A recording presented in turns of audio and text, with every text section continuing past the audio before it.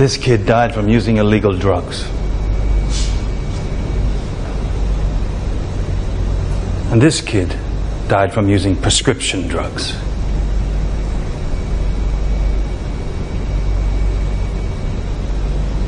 Now you tell me,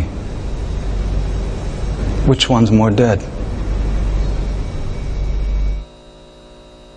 Talk to your kids about prescription drug abuse.